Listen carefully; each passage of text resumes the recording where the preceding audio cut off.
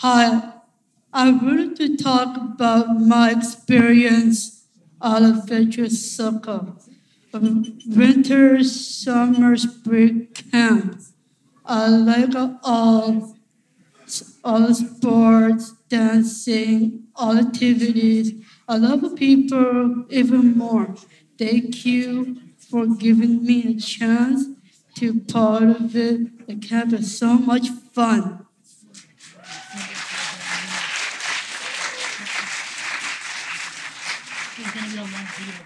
Thank you.